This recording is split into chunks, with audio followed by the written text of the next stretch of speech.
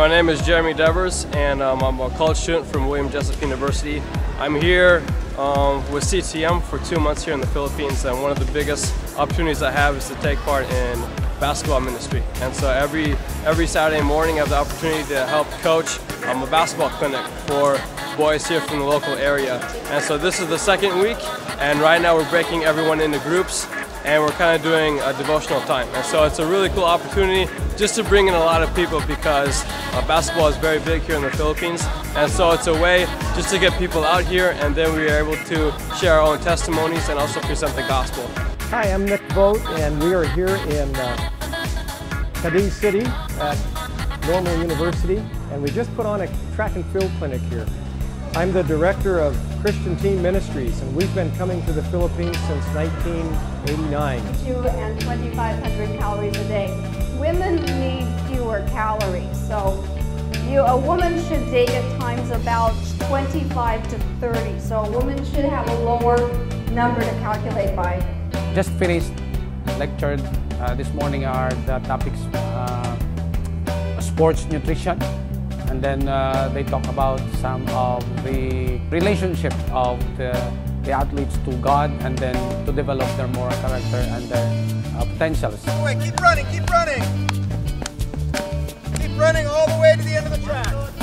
So what I, in the process of doing this, I developed what was called the handshake system of training, which to me is how I approach addressing the topic of teaching skills and teaching new material to athletes and, and students. The thing I found um, in listening to uh, Alan's testimony, um, one thing that I've come to realize that one thing that is dangerous about sports is it can tend to become a measuring stick of how we value a human being. That somehow physical performance is equivalent to the value of a human being.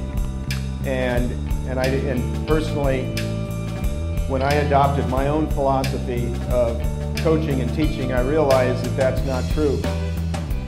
What athletics and sports really is, is an opportunity for students to express the way they intend to live their lives when they leave sports and when they go on into their professional world, when they go on to whatever God would have for them to do in their life.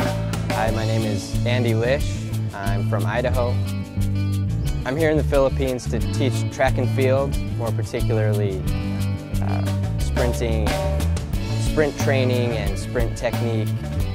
Athletics here are a little bit behind the American athletics, so trying to catch them up to speed. Here in the Philippines, American, we have huge gatherings around us almost all the time. Anytime we're in the open, people come to see us, especially uh, when it's about sports. Filipinos love sports, basketball, anything. And anytime you have a gathering, you're, you have a chance to share the gospel directly and just through, through your actions and through how you present yourself.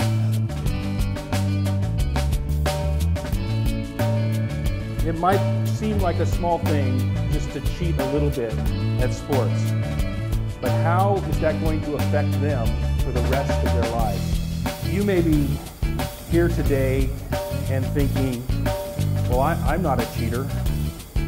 Um, I'm not fighting God's ways in my life. And compared to most people, maybe you're a good person. But God says that everyone has sinned. No amount of religion can save us. No rituals. No amount of going to church. Being religious doesn't save us. Only faith in Jesus. And then that will lead to us doing good things for God.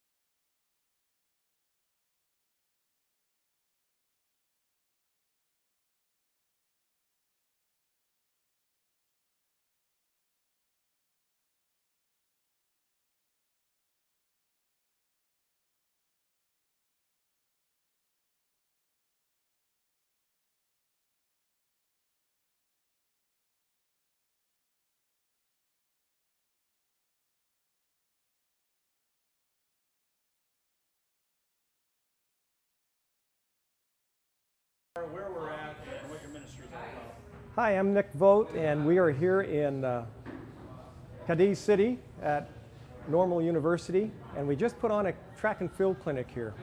I'm the director of Christian Team Ministries, and we've been coming to the Philippines since 1989. We are to help Christians uh, share evangelism concepts with the body of Christ, strengthen believers in their ministries, and then to help churches consistently send people throughout their world as, as uh, missionaries and sports ambassadors and, and uh, just sharing the gospel.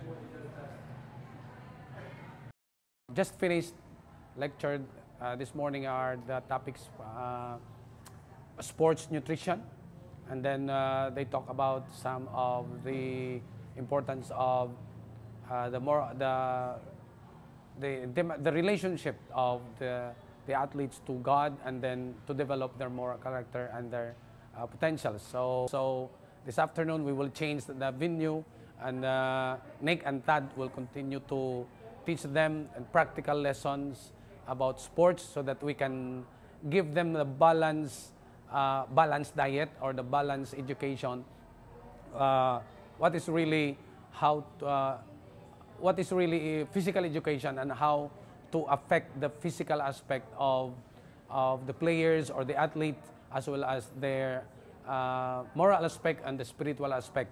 And uh, the Philippine Normal University is a school where we train the teachers uh, to go out, to go out into the field. And this school is exclusive also for uh, for the teachers only. And uh, the years before Nick and Tad came here, the school is staggering, and uh, some of the students and uh, and the people here they don't want their children to enroll in the PE or the physical uh, education courses. So the school had a little problem, and the staggering, and the students became diminishing and little by little, and, and uh, their, their, uh, their problem is they cannot encourage uh, students to enroll in, uh, in, or to enroll in the school and in and majoring the, the physical education. And uh, God used that uh, circumstances in order to prepare the school for the coming of, of your ministry from, uh, from the U.S. So thank God for Tad and and Nick, he, they came here to school and we introduced them to the school and they give us, uh, they give their skills and they lectured about what is, what is the importance of sports and, uh, and the importance of the physical education in, in, our, in, in the life of all the people and not just the people, the whole community. So, and we, we started to share to them and uh, the school accepted the, their uh, perspective and their principles and they lectured to some of the students, seven maybe, seven students who enrolled. After those years, the school uh, uh, got a number of students now, more than 30, 30 students who enrolled in PE major, taking